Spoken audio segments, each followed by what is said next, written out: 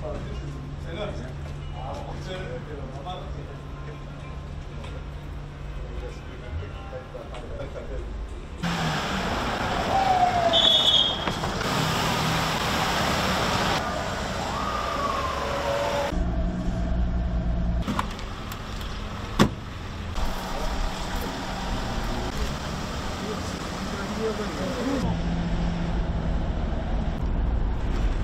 two minutes, not o i v e